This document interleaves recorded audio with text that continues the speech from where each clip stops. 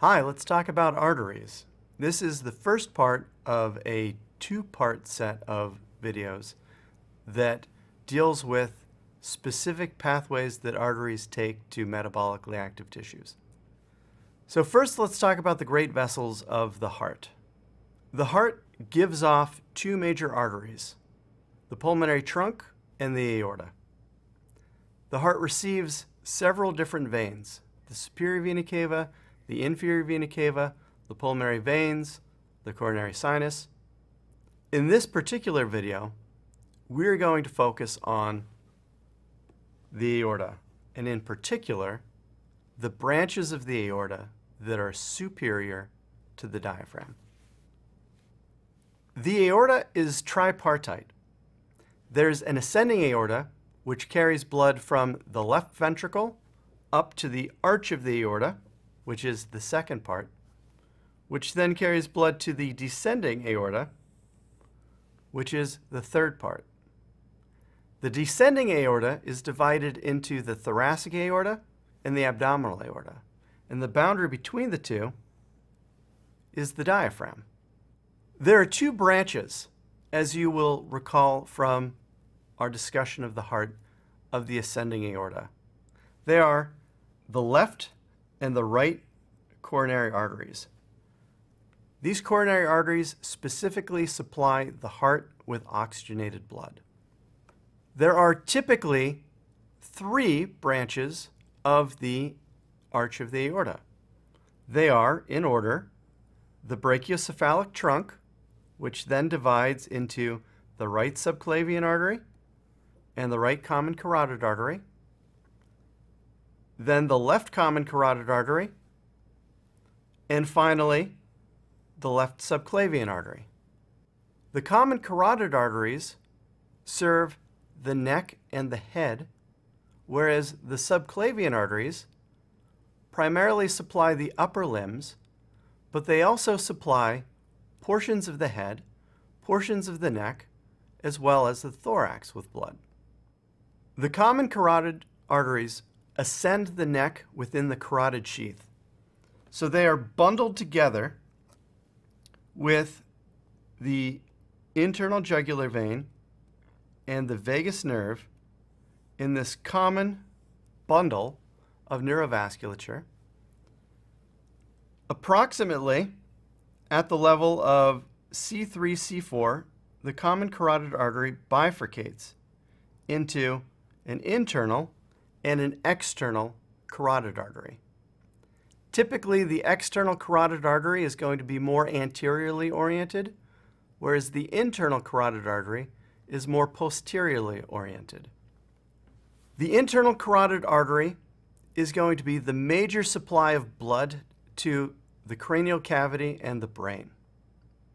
It also supplies the eye, the orbit, and portions of the forehead superior to the orbit. The external carotid artery primarily supplies areas of the superior neck, the face, and the scalp with blood.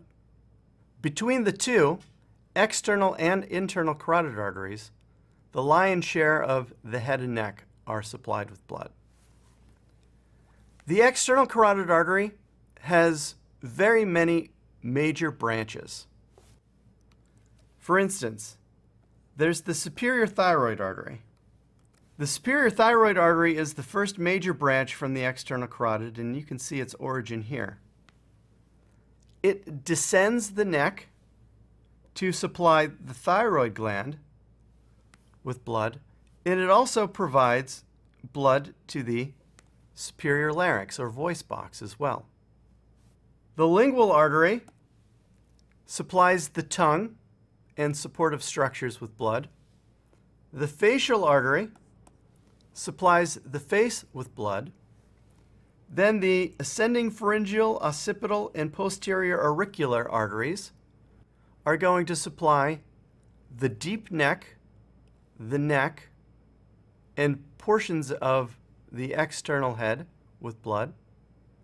And then the two terminal branches of the external carotid artery are the maxillary artery and the superficial temporal artery. The maxillary artery is going to be transmitted through the infratemporal fossa, and it's going to supply the muscles of mastication. It's also going to supply the maxilla, the teeth of the maxilla, and the dura mater by means of the middle meningeal artery. The superficial temporal artery is going to supply the temporal region of the skull and that skin with blood. The internal carotid artery has numerous small branches, but its major thrust enters the skull through the temporal bone, courses through the carotid canal, and enters into the skull to participate in the supply of blood to the brain. There are several major branches of the internal carotid artery at this point. There's the ophthalmic artery. The ophthalmic arteries supply the eye and the orbit with blood.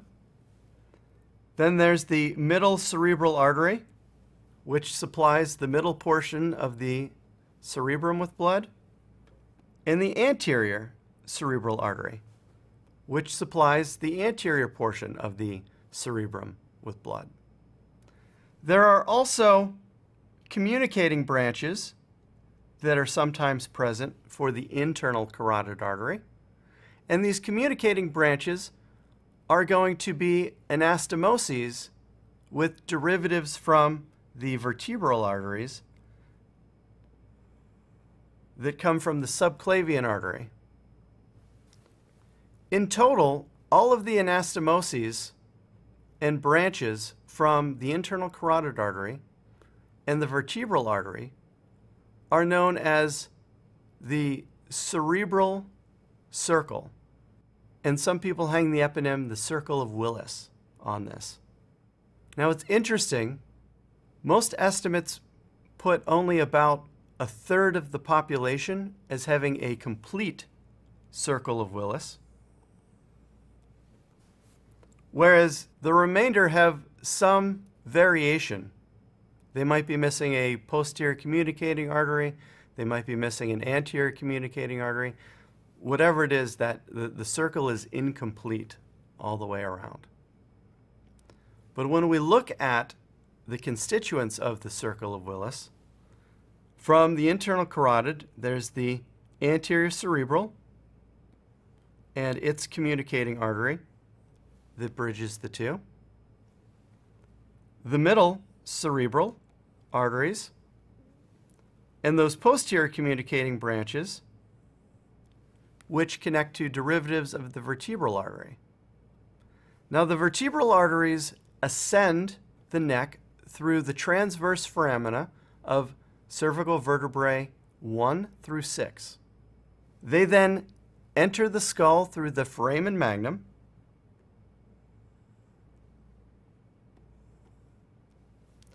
And they give off posterior inferior cerebellar arteries or pica for short. Pica provides blood to the cerebellum, and it also provides an offshoot called posterior spinal arteries, of which there are two that are a source of blood for the spine. The vertebral arteries also provide branches to an anterior spinal artery. So there is a single anterior spinal artery and two posterior spinal arteries. The vertebral arteries then come together as the basilar artery, and that basilar artery gives rise to the anterior inferior cerebellar arteries, or AICA for short that also supply the cerebellum with blood. And then the basilar artery continues on, giving off smaller pontine branches and eventually gives rise to two sets of branches. There are superior cerebellar arteries, and then the terminal branch of the basilar artery would be the posterior cerebral artery on either side to finish the circle of Willis. Now, if you're looking at the inferior portion of the brain, you can see this cerebral circle. One thing in particular to take note of is cranial nerve 3, the oculomotor nerve, nestles right here between the superior cerebellar artery and the posterior cerebral artery. And as a consequence of this, if there's ever an aneurysm in either of these two arteries, that can squeeze the oculomotor nerve and it can provide a lot of trouble for movements of that particular eye as a result that's controlled by those extrinsic eye muscles.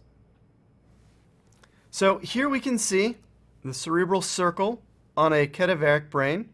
So we can see very quickly, here's the cerebellum, here's the cerebrum, and the temporal lobes have been pulled apart so that we can have better access to, uh, to see the brain and its vasculature. Here are the internal carotid arteries, our middle cerebral arteries, our anterior cerebral arteries, our communicating artery, our anterior communicating artery, our posterior communicating arteries. Here we can see the vertebral arteries, and you can see there's a little bit of variation with respect to their size here. Ascending. There's our anterior spinal artery. There's pica.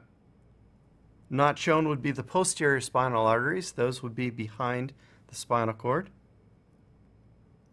Here's the basilar artery, some of the pontine branches. And then the superior cerebellar artery, and then the posterior cerebral artery. And let me clear all that away. And nestled here between the posterior cerebral and superior cerebellar artery is the oculomotor nerve, cranial nerve number three. Next, we have the subclavian artery. The right subclavian artery, as you'll recall, branches from the brachiocephalic trunk. The left subclavian artery branches directly from the arch of the aorta. The subclavian artery is tripartite.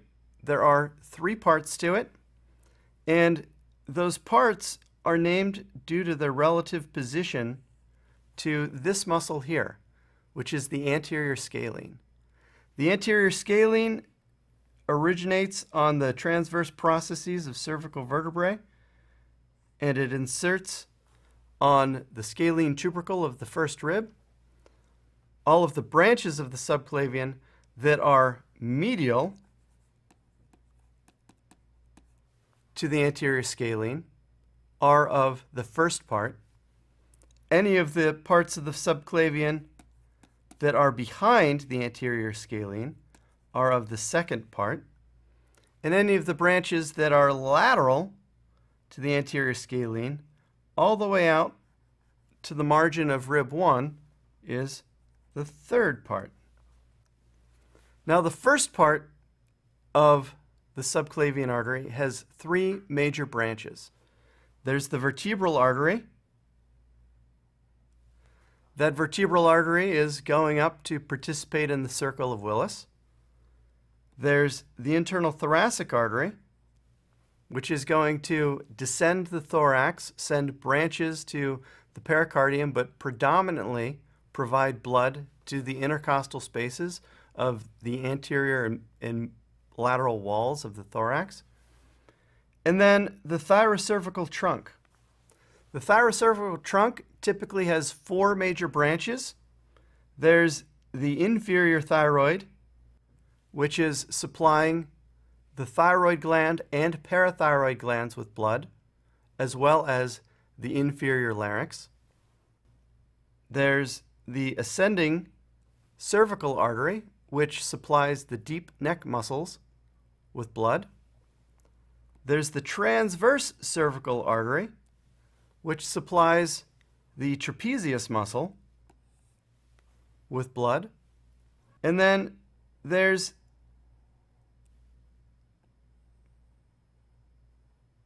the suprascapular artery, which supplies some of the rotator cuff muscles, supra and infraspinatus, with blood. The second part of the subclavian artery, which is obscured by the anterior scalene, provides us with the costocervical trunk.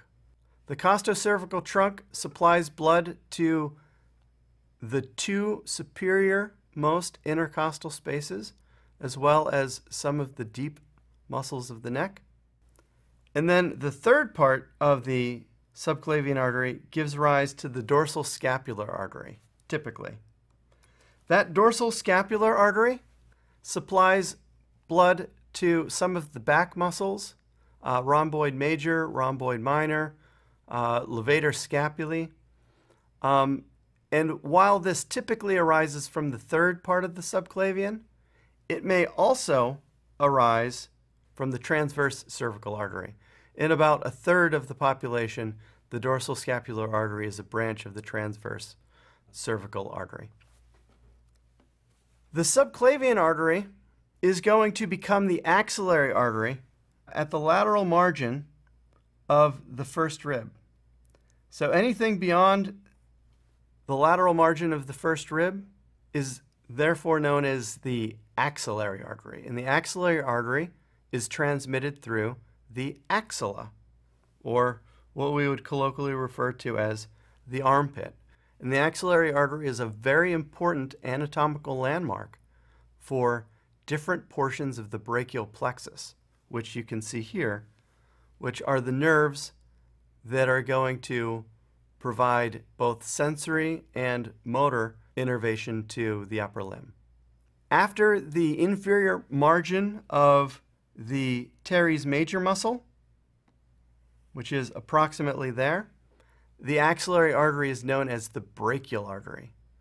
And the brachial artery provides blood to the brachium, or the arm. That's the region between your shoulder and your elbow.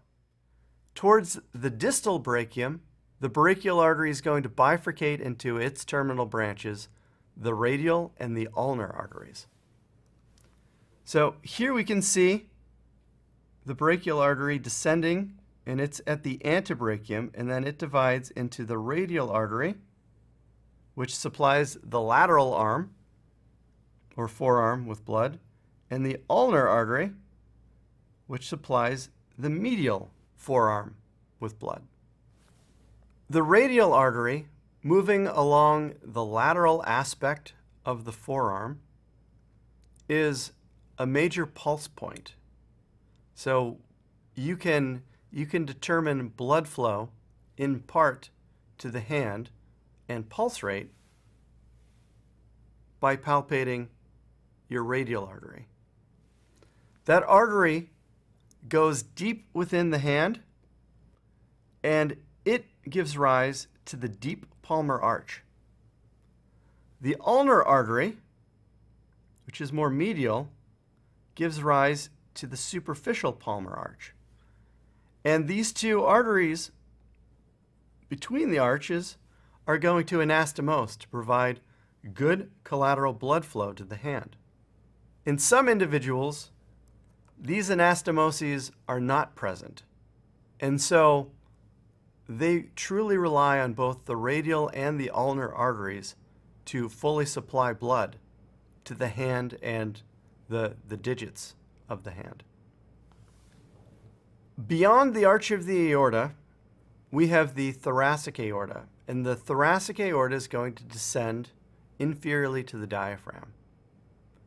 There are several visceral branches. Visceral branches supply blood to viscera, and then there are many parietal branches to the thoracic aorta.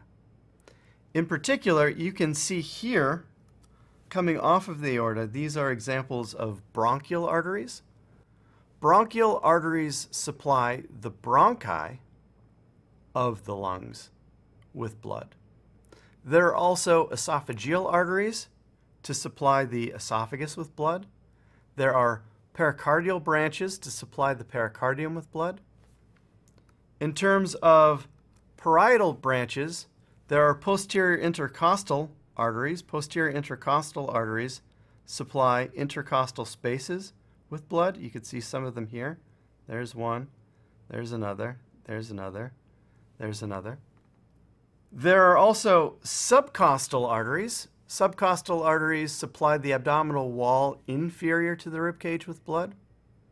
And superior phrenic arteries, which supply the superior portions of the rectus abdominis muscle with blood.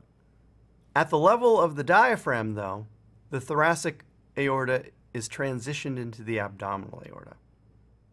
Now we've discussed the major branches of the ascending aorta, the arch of the aorta, and the thoracic aorta. Stay tuned to find out the branches that come off of the abdominal aorta. Thank you.